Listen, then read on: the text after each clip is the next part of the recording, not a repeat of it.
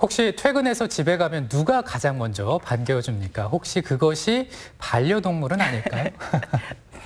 네, 어, 처음에 반려동물을 키우시는 분들은 하나같이 집에 혼자 들어가는 게 싫어서 네. 그 쓸쓸함이 싫어서 반려동물을 키운다고 하는데요. 뭐 시간이 조금 지나면 혼자 있으면 안 돼 해서 일찍 들어가게 된다고도 하시더라고요. 네, 이렇게 반려동물을 키우는 분들이 점점 늘어나고 있는데요. 덩달아 반려동물로 인한 사회 문제도 대두가 되고 있습니다. 그래서 이런 문제를 좀 해결하고 또 자문을 구할 수 있는 기관이 우리 충북에 생겼다고 해서 소개해 드릴까 합니다. 네, 충북 오늘은 후에서 이야기 나눠보도록 하겠습니다. 네. 반려동물 법률 상담센터 이진홍 센터장께서 자리하셨습니다. 안녕하세요. 안녕하세요. 네, 안녕하세요. 반갑습니다. 네.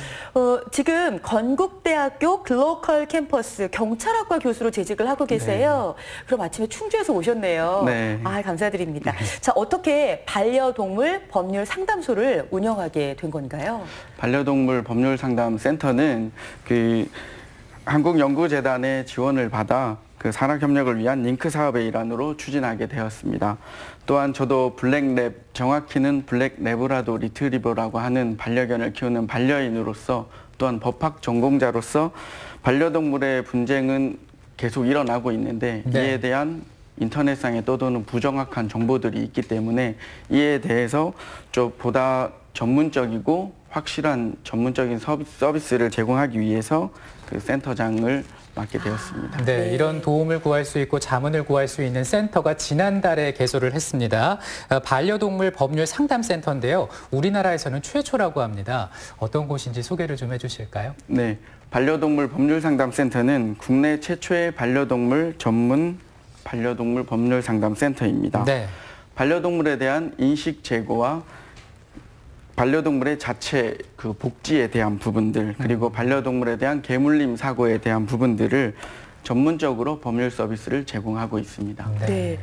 음, 그러면 반려동물 법률 상담센터 현재 건국대학교 내에 소재하고 있는 건가요? 네, 지금 현재 건국대학교 글로컬 캠퍼스 스타트업 스페이스에 설치되어 있습니다.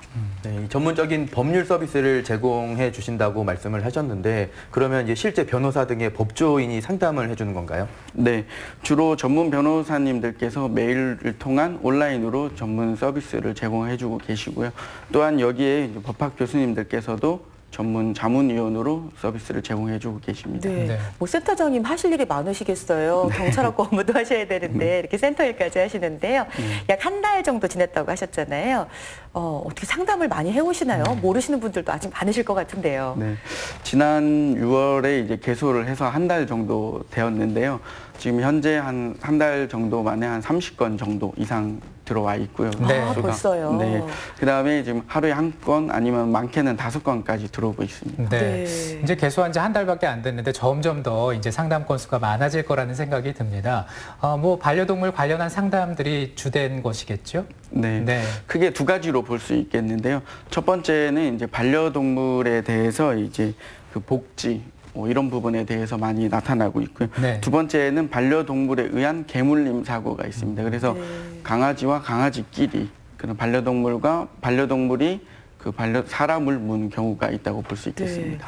저는 법률적으로 어떤 내용이 발생하길래 이렇게 음. 복잡할까 했는데 말씀을 들어보니까 뭔가 우리가 짚고 넘어가야 될 게 좀 많이 있는 것 같네요. 우선 어, 30건의 상담은 충주에 있는 분들의 상담인가요? 아니면 다른 곳에서 온 것도 맞나요? 네, 전국 단위로 다 아, 상담을 전국. 받고 아, 있습니다. 그렇군요. 네. 자, 그러면 실제 예를 좀 살펴보도록 하겠습니다. 법률적으로 어떤 문제에 대해서 이렇게 고민 상담을 해오시고 문의를 해오셨나요? 네, 한 가지 이제 예로 들면은 산책을 시키시다가 반려동물의 이제 목줄 손잡이를 놓치게 되었습니다. 그래서 네. 상대 지나가시는 남성의 허벅지를 문 사고였고요. 그 사고로 인해서 이빨 자국이 남고 전추 2주간의 치료를 요하는 사고가 발생을 했습니다. 개물림 사고네요, 그렇죠? 네. 그래서 이런 사고에 대해서 형사적으로는 이제 반려동물을 키우는 견주가 목줄을 놓쳤기 때문에 사람의 그 과실로 인해서 사람의 신체에 상해를 입혀서 형법 266조에 따른 형사상 과실 치상죄가 이제 성립이 되고요. 또한 민사적으로는 민법 750조라든지 아니면 759조 동물의 점유자 책임에 따라서 치료비와 위자료를 변상하게 되어 있습니다. 손해배상으로. 그래서 이에 대해서는 피해자와 합의가 이루어지면 형사적 처벌은 면하게 되어 있습니다. 이와 관련해서 이제 특이 사례로는 그 반려동물을 키우는 입장에서 공동주택에서 아파트라든지 뭐 동네에서 키우는데 그 공동주택의 공원에 개인의 반려동물의 무덤을 만든 사례가 있었습니다. 그래서 공동으로 산책하는 곳에 무덤을 설치했기 때문에 이를 네. 어떻게 해야 되는지에 대한 상담이었습니다. 네. 반려동물에 대한 사체는 동물병원에 의뢰해서 의료 폐기물로 처리를 하거나 소각 처리를 해야 되지만 또한 그 동물보호법에 따라서 시도에 등록한 동물 장묘시설에 의해서 처리를 해야 됩니다. 아니면은 폐기물 관리법에 따라서 생활 쓰레기 봉투에 넣어 분리 배출을 해야 되는데 이를 다 어겼기 때문에 반려동물 무덤을 만든 행위는 폐기물 관리법에 따라 과태료 대상이 되고 이 무덤은 이동을 해야 됩니다. 네. 네. 이 사실 얼마 전에도 폭스테리어가 어린아이를 무는 사고가 있었잖아요. 이런 개물림 사고를 방지하기 위한 뭐 목줄 길이 제한이라든지 입마개 착용이라든지 많은 이야기들이 나오고 있는데 어, 이런 거에 대해서는 좀 법률 적용을 어떻게 받고 있는 건가요? 네, 반려동물의 소유자는 동물보호법 제13조에 따라서 인식표 부착, 그 다음에 배, 그 배설물 수거 관리 조치를 해야 됩니다. 이를 위반하게 되면 과태료를 물 수가 있습니다. 또한 목줄을 사용해야 되지만 그 범위가 부정확하게 되어 있습니다. 그 길이는 다른 사람에게 뭐 위해나 혐오감을 주지 않는 범위로 되어 있기 때문에 이에 대해서는 경범죄 처벌법에 따라 처벌을 받게 됩니다. 입마개에 대한 사항이 가장 이제 논란이 많이 되는 사항인데요. 맹견이면서 원령 3개월 이상인 경우에는 적용이 되기 때문에 모든 반려인에게 반려견에게는 적용되는 것이 아닙니다. 또한 이를 위반하게 되면 동물보호법에 따라서 과태료를 부과되게 돼 있습니다. 아, 네. 맹견이라도 3개월 이하면은 그럼 입 막으면 안 해도 괜찮은 네, 거였군요. 법에는 그렇게 되어 있습니다. 아, 그렇습니다. 네. 네. 그리고 폭스테리어 사고 관련해서 이제 견주를 좀 처벌해야 된다. 그리고 이 반려견은 안락사를 시켜야 된다라는 의견도 나오고 있는 상황인데요. 근데 실제로 궁금한 것이 이제 이 개물림 사고를 낸 이 견종 어, 안락사를 시키는 게 가능한 겁니까? 어, 지금 현재 이제 물림 사고를 냈다고 해서 모든 강아지들, 반려견들을 안락사 시킬 수는 없습니다. 네. 맹견으로 정해져 있는 다섯 종류의 품종에 있어서만 이제 안락사를 시킬 수 있는데요. 반려인들에게는 이제 가슴 아픈 일이시겠지만은 반려인은 법적으로 반려견은 법적으로 물건으로 되어 있습니다. 아, 네. 그래서 바- 반려견은 개인의 이제 재산인 거죠. 그래서 이 반려견이 물림 사고를 냈다고 해서 뭐 강제로 빼앗거나 안락사 시키는다는 것은 개인의 재산권 침해에 해당이 된다고 볼 수 있습니다. 네. 네. 어쨌든 그래도 뭐 사회적으로 이런 문제들이 하나씩 터지게 되면은 여론이 형성되게 되는데 아니 우리 반려견은 정말 그동안 제대로 훈련을 받아왔단 말이야 라고 자부심을 갖는 주인분들도 계실 텐데요. 그럼에도 불구하고 위축이 될 수밖에 없을 것 같습니다. 자 이렇게 곤란한 일을 겪었을 때라든가 역으로 이런 경우는 어떻게 해야 되나요 하고 상담을 해오는 분들도 계실 것 같은데요. 그런 사례가 좀 있을까요? 네, 아무래도 반려견을 키우 시는 반려인들은 이러한 영향 때문에 조심을 하기도 하고요. 일을 크게 만들고 싶지 않아서 약자가 되는 경우가 많이 있습니다. 네. 그래서 그 상담 중에는 반려견들이 이제 자유롭게 뛰어노는 운동장에서 일어난 일입니다. 그 반려견이 어떤 상대의 반려견주를 이제 다리를 물어서 네. 이에 대한 부분들에 대한 그 목격하지도 않았고 가벼운 상처임에도 불구하고 그에 대해서 지속적 치료와 합의금을 요구한 사항이 있었습니다. 그런데 이게 너무 무리한 요구를 하다 보니 이 반려견주 입장에서도 이게 과연 가능한 것이냐 이렇게 얘기를 했지만 사실상 과실치상이나 손해배상으로 고소를 하게 되면은 이에 대해서 이제 또 책임을 져야 되는 부분이 있습니다. 네. 그런데 이제 좀 더 이제 보시면은 이런 부분들을 너무 무리하게 요구하면은 이런 부분도 또 해당이 되지 않을 수도 있습니다. 뭐 상처가 많이 났던 건가요? 네, 그렇게 많이 나진 않았었는데 그런 부분들을 이제 악용하는 같은 반려 견주임에도 악용하는 사례도 있습니다. 마음의 위로금까지. 네. 어, 네. 네, 그렇습니다. 상처가 몇 센치 이상이면 얼마 이런 기준이 없다 보니까 좀 이제 그렇다고 또 합의를 안 할 수도 없는 거잖아요. 견주 네. 입장에서는 굉장히 난처할 것 같은데 그리고 또 제 주변에도 반려견을 데리고 산책을 나갔다가 괜히 이제 또 핀잔을 듣는 경우가 적지 않다라고 이런 고충들을 또 토로하는 경우도 많다고 이렇게 하더라고요. 저도 많이 맞습니다. 들어봤어요. 맞습니다. 그리고 네. 이제 반대로 반려견에게 뭐 입마개나 목줄을 착용하지 않았을 때 그 견주를 좀 적극적으로 신고해야 된다 이런 얘기도 나오고 있거든요. 네. 근데 이 신고 절차가 복적, 법적으로 좀 복잡한가요? 어떻습니까? 어, 신고 절차보다도 신고에 의한 문제 해결이 조금 네. 복잡하다고 볼수 있겠습니다. 반려동물에 의한 뭐 형사적, 민사적, 행정적 그 다양한 문제가 일어나지만 이런 신고에 따라서 즉각적인 문제 해결이 조금 힘들다고 볼 수 있습니다. 네. 왜 그런 거죠? 어, 이런 예를 들면 이제 반려동물의 소음, 네. 뭐 일명 층견 소음이라고 불리는 것들이 네. 있는데 반려동물이 이제 밤새 계속 짖어대다 보니까 이에 대한 부분들을 이제 신고를 했습니다. 그래서 경찰이 출동을 했는데 어, 경찰도 이제 특별한 제재를 조치를 취하지 못했고 지자체에 민원을 넣었지만 지자체에서도 특별한 제재 근거가 없었습니다. 이는 현행 그 소음 진동 관리법이나 주택법에서 강아지의 울음소리는 소음으로 인정하지 않고 있기 때문인데요. 이와 관련해서 또한 그 공공장소에서 목줄을 하지 않거나 배수 배설물을 수거하지 않았을 때는 과태료를 부과하도록 규정되어 있고 이에 대한 부분도 강화되고는 있지만은 현장 적발이나 그 규정에 대해서 지켜지는 부분들이 쉽지가 않습니다. 네.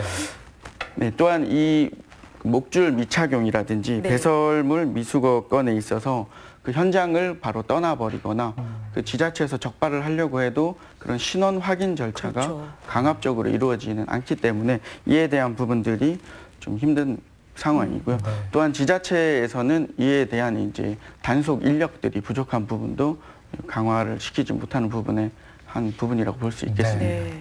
예, 정말 말씀을 들어보니까 뭔가 신고나 단속으로 해결될 문제가 아니라는 생각이 듭니다. 사실 반려동물 키우는 분들이 너무나 많이 늘어나고 있는 상황에서 기본적인 에티켓도 지키고 또 인식 개선도 필요하다라는 생각이 드는데요.